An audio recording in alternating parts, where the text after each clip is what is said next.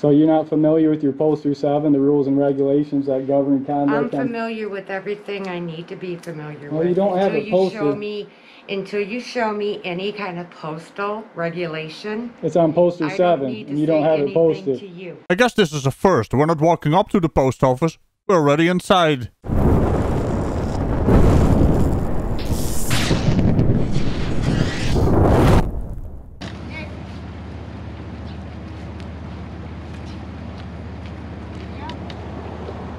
And we're outside again.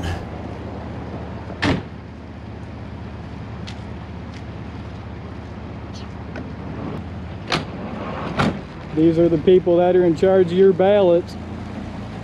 Indeed. Is he is he trying to make a point? I mean, standing outside filming people working, that might be a thing that uh, frauditors do, but there's no point to be made here other than him being useless. Oh, I get it. He was trying to imply that these people are useless. I see. These are the people that are driving your ballots around, driving your votes around. The date is October 2020. Oh no, he's got a voiceover intro. All that's missing is the you know the little text uh, where he is and then the date and uh, the time maybe. Uh, well, I guess this one is the first one that does actually some bloody editing, and he can't take this back. I mean, he's outside again. He's supposed to be inside the bloody post office. It's a peaceful day, a great day to engage in our constitutionally protected First Amendment rights of public photography. Today we are in Leslie, Michigan.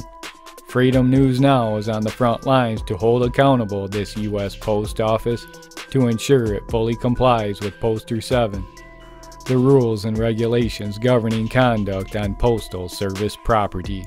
Yeah, that's all fine and dandy, but you could have done that much better with a better voiceover, you know? Something along the lines of In a world where post office and postal workers work, there's one man, a frauditor to be exact, who will enter the post office and film. Now, if he were to read the entire Poster 7, he would have known that he had to get permission from the postmaster. Today, we will see him in action to see if he can read.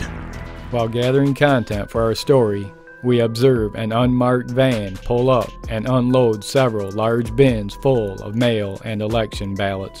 Oh, great. He's he's still going. Well, okay. Let's uh, let's continue then, shall we? At one point, he observes a van driving.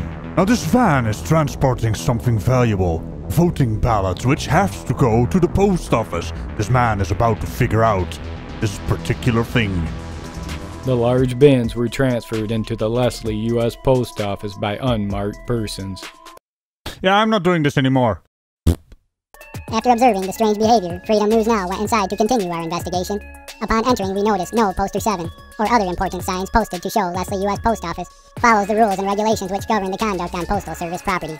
When asking the U.S. Post Office employee about following U.S. Post Office rules and regulations, she gave a nasty reply. Uh huh.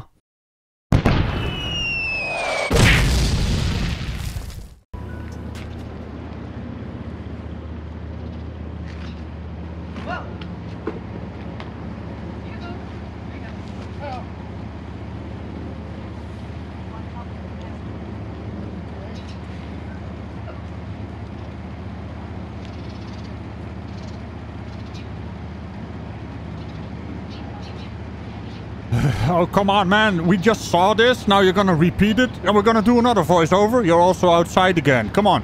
Get into the post office, do your stupid thing, so we can laugh at you. Alright? Lovely. Fuck's sake. Fast forward. This guy's even worse than the other frauditors. He goes outside before he goes in. Hmm?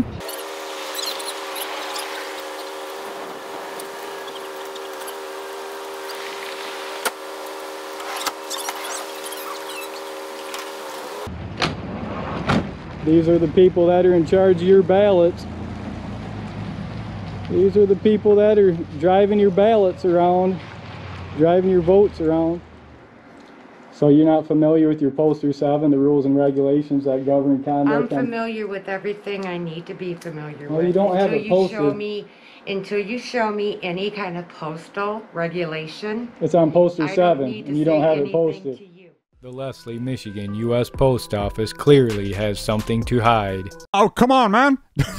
he got yeah, he's clearly got something to hide. These people are just working, you know, bringing in the mail, bringing in the ballots, and now this guy is just filming. If you were filming something that is shady, why didn't they say anything? Not to mention, wh- when are you frauditors actually gonna read the entire post 7? Because the little snippet that is on there is already debunking anything you have ever said. But post 7 in, in and of itself is uh, much uh, bigger. It's uh, very. I will link it in the description. Maybe you guys will read it someday, hmm? And not selectively. For fuck's sake. Oh, great. Is this just gonna be another intro at the end of the video? That is not how that works, mate.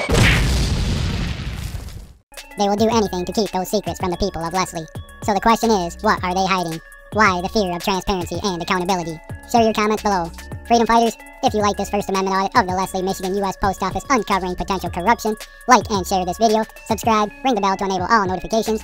Remember, not one of us is stronger than all of us. Rise up together and fully support the First Amendment audit community. Always record, stay strong, never give up. And we'll see you at the next high impact First Amendment audit.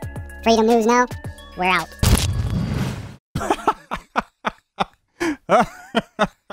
oh, the- oh, oh, no.